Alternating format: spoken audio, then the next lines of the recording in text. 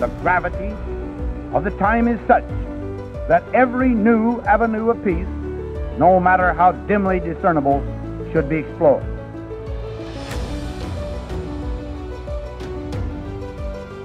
Never before in history has so much hope for so many people been gathered together in a single organization.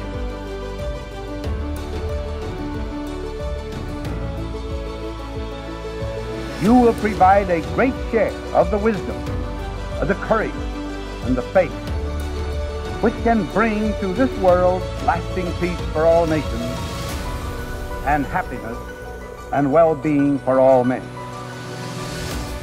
Hello to the Titans of Nuclear podcast listeners. My name is Suzanne Jaworowski. I'm the chairman of the International Framework for Nuclear Energy Cooperation, also known as IFNEC. This is the IFNEC mini series on the Titans of Nuclear podcast, and we want to thank Bret Kugelmass and his staff for inviting us to present this mini series that tells the stories of how nuclear energy is providing clean, reliable energy all around the world. Thanks so much for joining us. I hope you enjoy this special IFNEC mini series. For more information about what's happening at IFNEC, please visit us at ifnec.org. Thank you and enjoy the podcast. We are here today on Titans of Nuclear with Vladimir Artisyuk, the advisor to the Director General of the State Atomic Energy Corporation, Rosatom. Thank you so much for joining us today. so, we'd like to begin um, this episode by learning a little bit about you. Please, we'd love to hear your history, how you came into the nuclear space. Oh, uh, that is that is that is not easy not easy not easy to explain but i will try anyway. So look in uh, the former soviet union as you might know uh, there were two technology and still have been two technology which make the vision of the general image of the russian. That is space technology and nuclear technology. Yes. you, you, know united states russia france china and uk there are five nuclear possessing countries, important countries. So, and uh, I was born in the region, was grown in the region where the first nuclear power plant was uh, put into operation in 1954. So not many people outside of Russia know that the first in the world nuclear power plant was connected to the grid in Russia. It was wow. not commercial, by the way. Yes, it was not commercial. It was kind of symbol, atom for peace. So it was and, 1954. And what type of reactor was this? Uh, that reactor was a graphite moderated and water cooled reactor. That's not pressurized water reactors which are dominating now. I very much appreciate the contribution of other countries like United Kingdom, where the first commercial nuclear power plant was uh, constructed, and of course the United States, that pressurized water reactors um, designed by the team of Admiral Rickover. So we appreciate that. But first in the world, connected to the grid, was in the region where I was grown. Okay. You see, that is near Moscow, 100 kilometers. So during my childhood, so we were excited about this kind of event. So that kind of symbol of the 20th century, uh, curbing the nuclear power. So many, many, many, many young uh, people dreamed of getting to be involved in this process. That was first reason.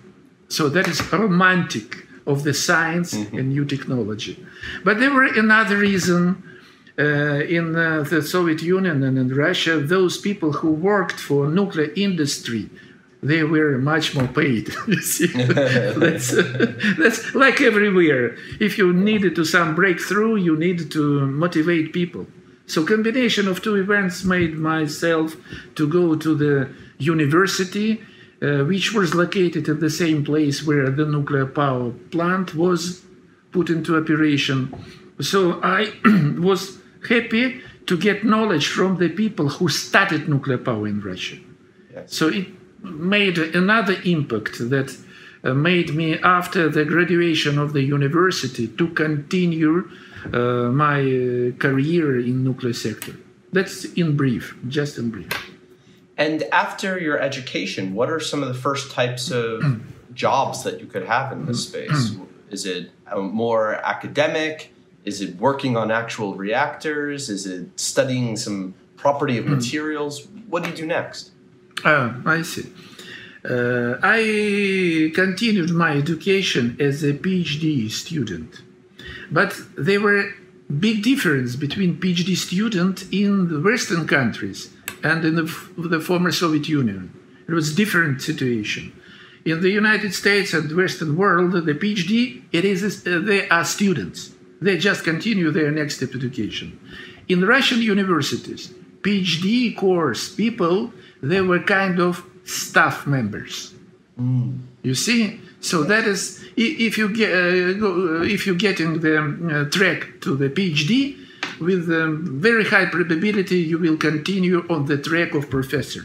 Ah, okay. Yeah, so I was select, I was selected. In fact, it was not just you mm, entering the course, or j- not you just paying the training fee, not just um passing through exams. First, you have to be selected by the staff members, and you know it was 1980 when I entered the university. Uh, I graduated in 1986 and uh, uh, from total number of uh, graduates about 200 only three persons were selected to get into the phd track. I was one of them. Yes. Very prestigious. i was one of them. Yeah. yes in the soviet union and still in russia to continue education in nuclear in nuclear sector that is prestigious still And let me ask you, what do you think it was that made you excel? Was it motivation? Was it intelligence? Was it uh, just an intuitive understanding of the physics? What was it that, that set you apart? First of all, I think that is kind of uh, intuitively perceived mission. Mission. Mission in this life. Mission in, this life in young people is formed not, not from internally, but from the environment. As I mentioned, uh, I was grown in the region where the first and the world nuclear power was put into operation. It was a small city, by the way, 100,000 population, not more. But there were 12 research institutions in that city, all of them devoted to nuclear. And one of them is still is very, very famous Institute of Physics and Power Engineering. That is the heart of Russian fast breeder reactor program. So generation four reactors, fast breeder reactors. So this kind of environment of fast breeder reactors, they can uh, can make uh, nuclear power uh, make for nuclear power resources based ultimately uh, unlimitedly. So that was first environment. So that is mission for nuclear power to bring to a new step of human development through new technology not just nuclear technology but fast reactor technology. These kind of people uh, were surrounding me. I got knowledge from that kind of people. They were my professors. So that was maybe environment made me to to continue my uh, career as a nuclear specialist first academic of course Very good. And then what after what happened after your PhD? uh, first uh, by the way i have three phd in fact all of them in nuclear yes yes Over- that is a okay, special so, story So overachiever. okay let, let me give you that is special story also not not not not how to say not regular case just not a simple case when i uh, finished my phd in russian uh, yes it was all it, yes it was already russian federation uh, not soviet union i graduated 19 uh, 90, 90. I got my first PhD in the former Soviet Union. And after that, I got a job as a staff, regular staff assistant professor. In the two years, by the way, uh, Soviet Union collapsed, situation was changed. Uh, I, I cannot say it uh, got more easy to live. It was transient period, but it was a kind of new phenomenon. So it was uh, opened the doors to Russian scientists more um, to, to, to, to other countries to go. Yes, it's more easy, more easily. So I uh, passed through the competition to get a um, scientific visit to Japan. Japan, yes, and uh, so I got this competition. I got a scholarship uh, through, from Japanese government and uh, went to Tokyo Institute of Technology first as an exchange scholar. And after several months, Japanese people just offered me an opportunity to enter PhD course in Tokyo Institute of Technology. Mm. And that time, and that time, by the way, that time, Japan uh, was looking for fast breeder reactor development.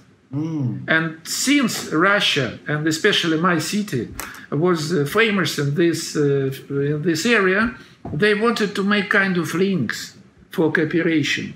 So I entered the PhD course in Tokyo Institute of Technology, successfully finished that because you know that is compared to Japanese PhD students, I had already background and experience with PhD so after getting uh, my PhD in Japan, they offered me a job in Tokyo Institute of Technology, and my last position in Tokyo was associate professor of Tokyo Institute of Technology, and I was engaged in teaching international course students. How long were you, so you left the country? Uh, uh, how long were you gone for? Uh, so I lived in Japan in total ten years. Wow. Yes, 10 years. So had and, part of my Japanese. and you and you left just as things were really changing as well. When you came back, did you notice a, a very big difference in your country? Of course, of course, everything. So when I first uh, stepped into Japanese soil, it was uh, how to say it was a shock. Of course, it was a shock, shock, cultural shock, cultural shock everything was different. Yes. Everything, food, environment, uh, appearance of the people, everything was uh, quite, quite, quite exotic and strange to me. What was familiar to me, it was a Japanese attitude to science. Mm. Yes, Japanese people, they are hardworking people. Yeah. And uh, yes, uh, they are hardworking e- in everything. But uh, my experience in Russia was just hardworking in science. So this, you see, these attitudes were quite similar to each other. So I very, very quickly I got accommodated to Japanese uh, way of life, and I, in fact, I was happy to to to, to pass through this uh, my pages of my life. And what about when you came back? What were things like then? Uh, uh, before coming to, to, to, to Russia, um, uh, I defended my number three PhD. It was in Russia, but it was before my coming to uh, Russia to work. Japanese people appreciated academic uh, hierarchy uh, in Russia. This is quite also different and still different from Western world. So we, ha we have a level of PhD but we have also level of so-called doctor habilitate. It's typical to Europe, but in Russia we have to pass through special committee. So, to special committee, many professors listening to your presentation estimate your contribution to science, and after that they're voting, and mm. that was clo- close voting. You see, not uh, not openly. So it was quite. Um, very very severe situation to pass through. So i got my this kind of step i got when i was associate professor of tokyo institute of technology. I defended a full doctor degree in nuclear engineering in russian federation and japanese appreciated that. And only after that by the way i got promotion in japan. I was lucky. after your third phd what was your area of specialty? What were you the best in the world mm. at? Mm. My first PhD was uh, devoted to very exotic um, phenomenon, muon catalyzed fusion. muon catalyzed fusion. It is kind of fusion, but uh, catalyzed by um, a special um, particle, muon, muon. So that is fusion, but not at the very high temperatures like in tokamak. So, but the same phenomenon, the same neutrons coming out from the fusion. And my work uh, was theoretical to estimate how much this phenomenon might be used to produce uh, secondary nuclear fuel like plutonium and uranium 233. So, this, so that was devoted mainly to produce uh, fuel for nuclear power. My second PhD in Japan was devoted to transmutation of nuclear wastes. Mm. Yes, you know, for Japan, small country, not so much uh, areas to, to, to organize a deep geological repository. So for them in 1990s, it was very important to advertise uh, transmutation as a solution uh, of the waste problem. So I was lucky to, to be with those people in Japan to solve this uh, uh, issue for Japan, where it is what very hot issue. And uh, my last uh, scientific uh, area was devoted to, to plutonium protection. You know, plutonium has a little bit bad image because of possibility to use in nuclear weapon programs. Yeah. But scientists were always concentrated on how to make this plutonium unusable for uh, potential uh, terrorists or so. And uh, and, and what, what are the strategies there? To me, you know, when I first learned about um, the various isotopes of plutonium, to me uh. it seemed obvious that to make plutonium 239 unusable, all you would have to do is add a bunch of plutonium 240 to it. Is that not exactly? Not, no, that is yeah, not exactly like that. It's typical way. It's rather typical way to increase the um, uh, fraction of um, uh, uh, plutonium 240. Yeah. And this is done in uh, ordinary uh, uh, ordinary reactors, by the right. way. Plutonium from reactors rather difficult to make um, effective explosive device. But our idea and uh, we developed this kind of study and research jointly with my Japanese professor and with the professor from Germany. His name is Professor Günter Kessler. He is rather, uh, not rather young right now, yes, but he was one of the chief leaders in Germany in fast reactor program and at the um, late uh, years of his career, he was focused on how to make plutonium unusable through increasing fraction of plutonium 238. 238? So yes. And how would you get to 238? What would be oh. the. Yeah. Yeah, look, look, plutonium 238. That is, this isotope is uh, produced in nuclear sector yeah. for hot pacers, you know. Ah, hot yes. pacers. Because so this, this it's, a, it's like yes. a battery. Yes, kind of battery, exactly. And this isotope is also produced to uh, to to to to produce electricity for space missions also. Yeah. So this isotopes is first available, and second is uh, industrially matured. Mm. So no problem with isotope. The problem is how to produce this plutonium in significant quantities. Right. Yes. And and, and, uh, and, and where does the what where does the Pu two thirty eight come from? Are you adding neutrons from uranium two uh, two thirty five, or or how do you get or or do you decay from uh, uranium two thirty eight in some way? How, how, do you get to two? okay. Okay. Okay. Uh, for hot pacers, plutonium 238 is produced by neutron capture in neptunium 237. Neptunium. And where does neptunium come from? neptunium is coming through the neutron uh, capture uranium 235 uranium so 236 yes okay. yes yes yes I see, I see. and neptunium is considered as a kind of waste because it's very difficult to, to make it effectively efficient in the ordinary light water reactors. And by the way, uh, plutonium 238 is also produced from curium. Mm. Yes, curium alpha decay to plutonium 238. I see. Curium 2, uh, 4, uh, 2. So you know that is uh, both neptunium and curium are considered as uh, so-called minor actinides. Yes. In some countries, they are belong to category of high-level wastes. You But see? in, in order to strategically add neutrons to your minor actinides, do you have to go through a process of separation first? Do you have to do a processing on your spent fuel, separate out your constituent actinides, and then bombard them with neutrons?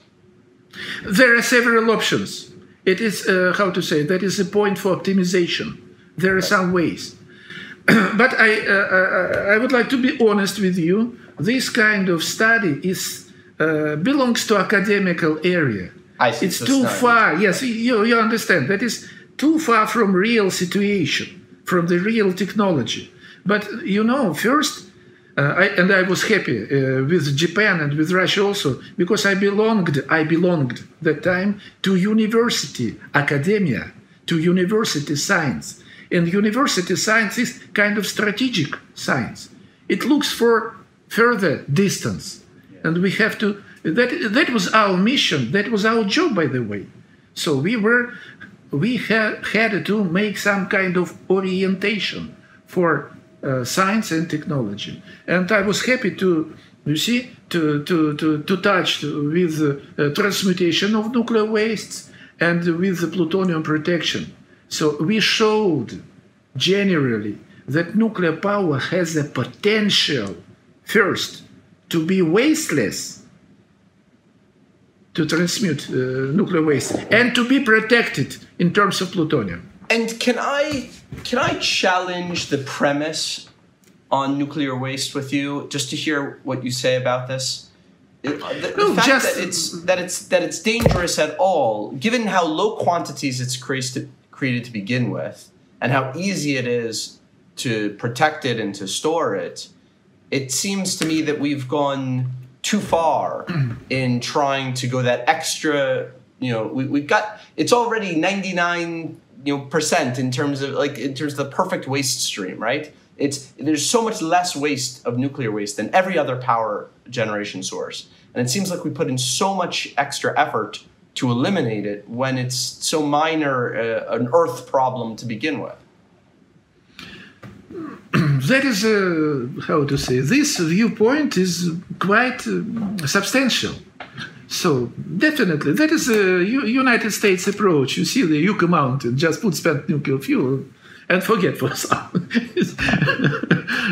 but uh, you see we in russia developing uh, a different story Yeah. so you, yeah. we are developing Well, I- we- that I is our personally- way Uh, personally, I think Yucca Mountain is even too much work. To me, it seems like you could just find a hole in the ground where water doesn't move through and just put it all in the hole, put 10 feet of dirt over it, and you're done. But look, uh, the problem is longevity of the situation. So isotopes, some of the isotopes, they have a uh, half-life hundred thousand years, so even Yeah. million years. So we have to uh, to first to, to show to public, to general public, the possibility to isolate waste for so long period. So all, always public will be a little bit cautious about these kind of things. So and, we have to analyze models, uh, offer the models, predict to, to make a good prediction power for the people. And but how come we don't take years. the same attitude to carbon 14 or to potassium 40? These also last for hundreds of thousands of years and they're in our bodies, but we don't say that we have to pull out every carbon 14 atom out of our body and put it in a repository somewhere. first of all, first of all, they are not so uh, concentrated, you see, and they are part of our ah, planet. but that's the solution. Then we have to just dilute it, just uh, just mix it in with everything else. no, but technologically, technologically, it's unfeasible, of course, Yeah. of course, unfeasible. Okay, good. Um, I'm glad we got to talk about that a little bit. Um, tell me, so after your uh, your studies, you know, what what have you pursued then? You know, uh, now that you are the you're the expert. You know, you grew up learning from all the experts, but now Ah. everyone is learning from you. So what what do you teach them?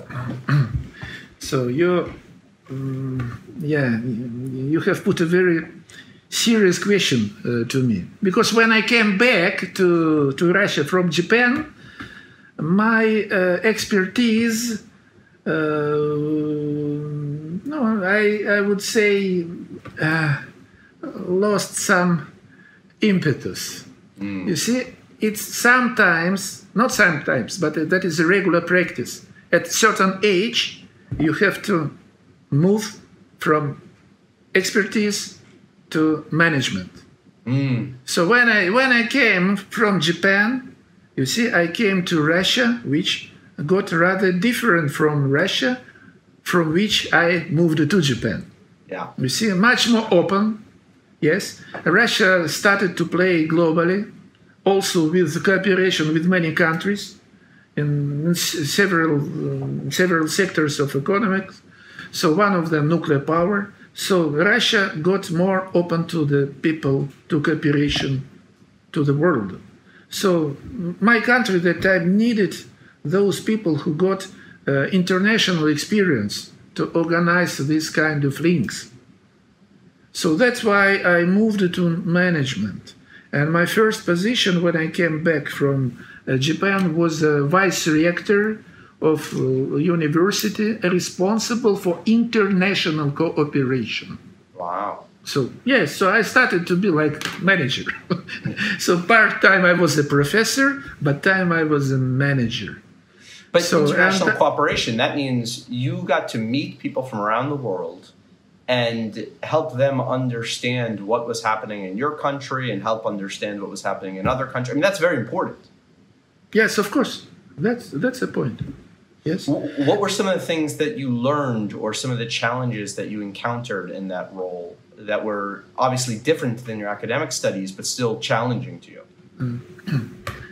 Um, of course.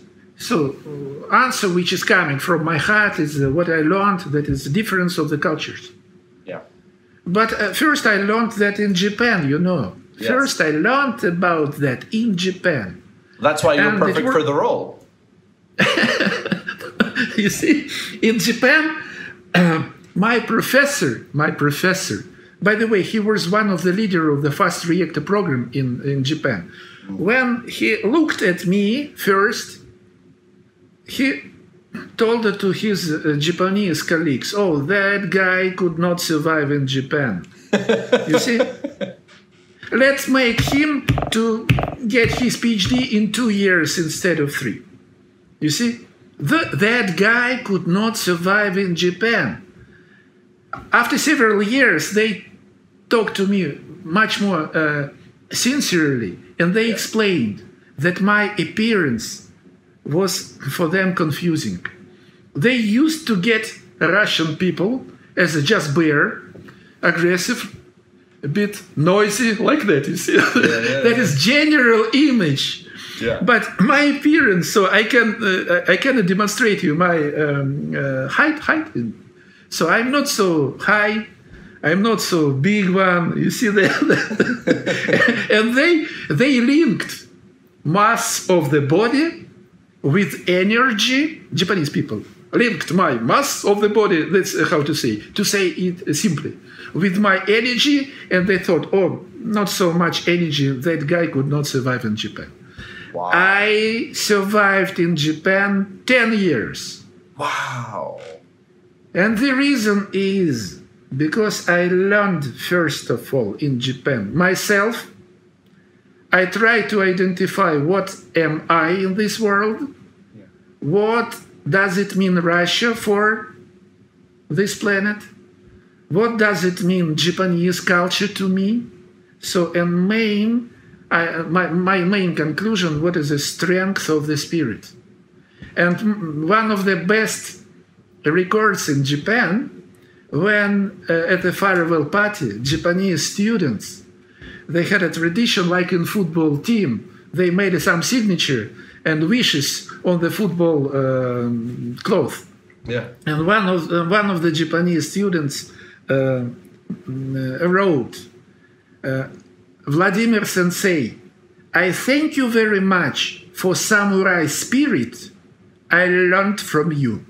Wow. You see, What that was honor. my yes. It, it, it, it has been my honor from Japanese people to get this kind of message. Thank you for samurai spirit.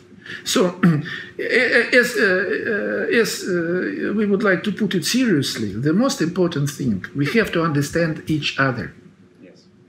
each other and to make this kind of understanding through just exchange of emails it's impossible we So how do you do it? Yeah. So how do you do it?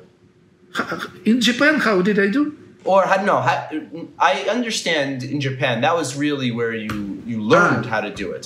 Now in your in your in your current role or when you facilitate new international cooperation, what is your strategy to understanding to developing that understanding? my personal strategy my personal strategy my personal strategy my personal strategy is first of all be sincere with people Yeah. uh, maybe you know mm, Jawaharlal Nehru, one of the leaders of India, Jawaharlal Nehru, first Prime Minister of India. Ah yes. He was, yes, he was educated in the UK. He, excellent education he got in the UK. And one of his books he wrote, Discovery of India. His discovery of India. You mentioned, first of all, we have to understand who we are. What is our mission? So, what does it mean, Russian technology to the world? And uh, the point is that Russia, through the, their mm, maybe religious religious features, um, mental uh, environment, uh, maybe mainly religious, we are not so aggressive in advertising. We are not merchants. You see, we are not just uh, uh, do something and make an advertisement. We did a lot. So we are shy, in fact. Sometimes our behavior just to, to how to say, to hid, to hid our shyness, you know. Yeah. And this is very deeply in our mentality, in our heart. In order to understand that, we have to make uh, communications. We have to meet, meet each other, to make more uh, frequent seminars, to, to understand that we are not going to cheat you. Yeah. Uh, uh, Russian people, their their feature, maybe characteristic, that is, we build very long-term relationships. We are not just get this shot in order to get profit. No, we making long-term, long-term. That is our maybe national strategy. And Japanese people, they do the same. Yeah. For them, if you just to get money for a short period without long-term strategy, that means nothing. That's why they have a lot of people, aged people in the management. By the way, Yes. Okay, this makes a lot of sense to me now. Can you help tie this together uh, back to the commercial nuclear sector and how Russia sees long term relationship building um, as part of its nuclear export um, strategy?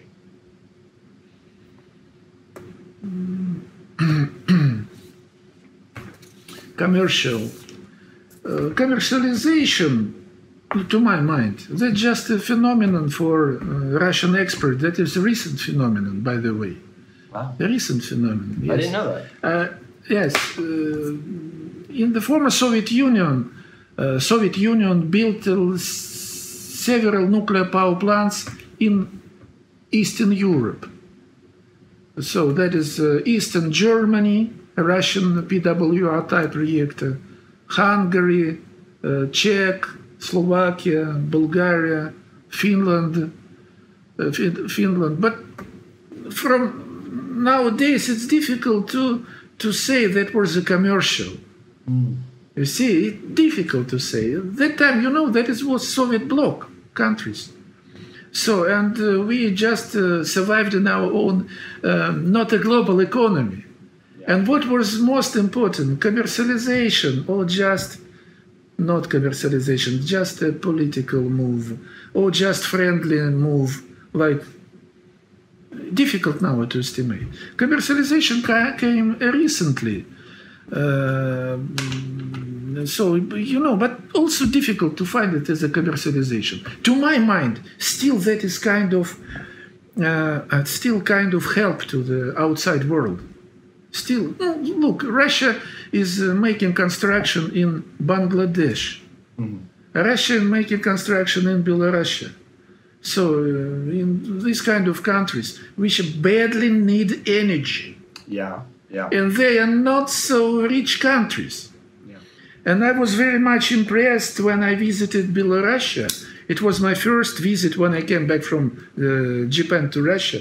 I visited Belarus and listened to um, presentation of the president of Belarus uh, in front of students of the National University.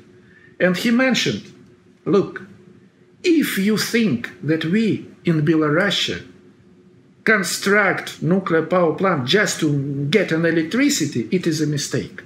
Electricity we can get from Russian nuclear power plant, which is just 60 kilometers from border. Right. We would like to get nuclear power plant in Belarus because that is point to increase intellectual level of the nation. Ah, You see?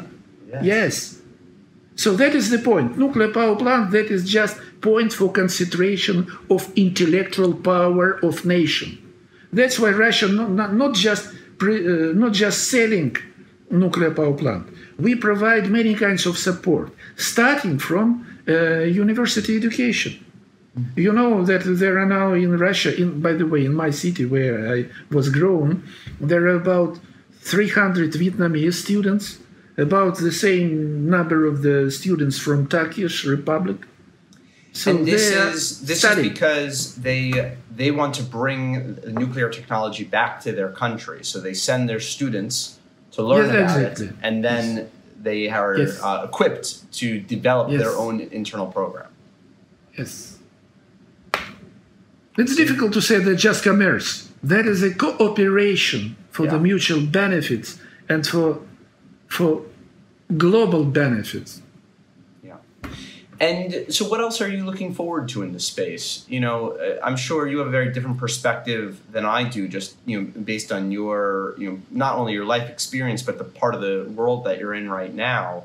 Uh, If you were to project out, you know, the next, you know, ten years or so, what do you see exciting that's being developed now that will come to fruition then? Personally, I'm very much excited about introduction a new nuclear power technology. What does it mean new? You see, uh, till now, pressurized water reactor that is just in heart. They have a very sophisticated phenomenon, nuclear fission.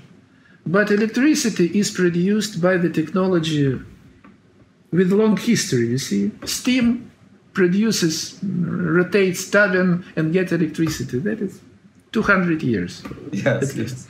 So nuclear power should make a new uh, step, much more effective step in developing. So high temperatures, like high temperature gas cooled reactor, first.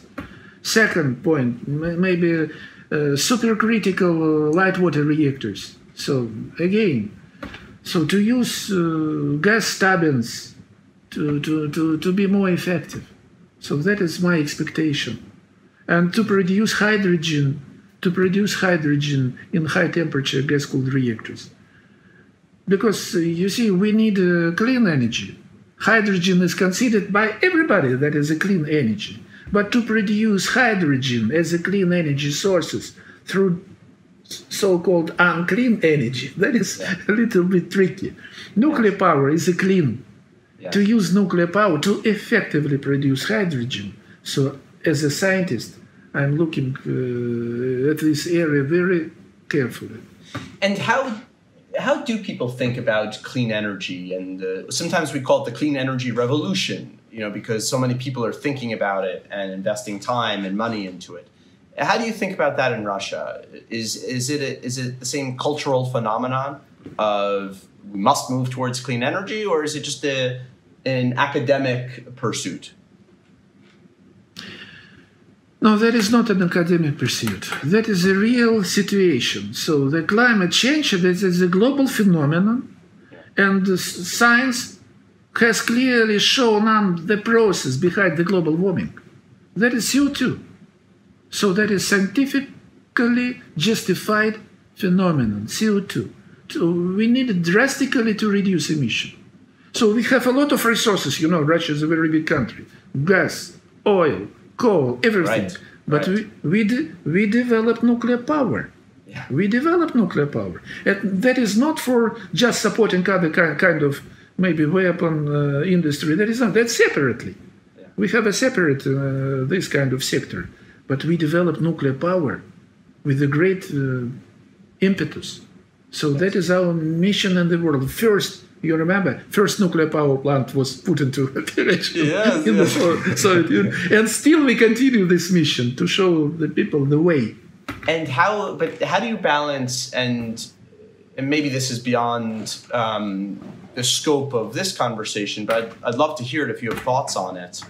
How does Russia balance um, that the fact that fossil fuels are such a strong part of their economy, and they are such good producers of oil, of gas, um, and they have an industry that's also done amazing things, bringing that technology, um, you know, uh, to become very sophisticated. How do you balance that versus a transition to non-carbon emitting energy sources? If uh, just to translate official viewpoint and Yeah. official situation, so we still in Russia still being developing uh, the strategy to non-carbon future. Still, it is under development, so it is not fixed. We have just draft. Yeah. So, but in this strategy, it's a real situation. So that is reduction of the uh, coal. It's uh, increasing the efficiency of energy use. So this nuclear power in, increase a bit. So and gas, you know, in Russia, gas uh, in the energy sector is appreciable, rather appreciable fraction. Yeah. So compared to other countries, so situation in Russia is uh, not bad, to, Yeah. to, to, to say like that. So we, uh, to to put it uh, in short, so we understand the situation globally. We do our efforts, and as an indicator and illustration of these efforts, a Russian expert of nuclear technology to other countries. Yes.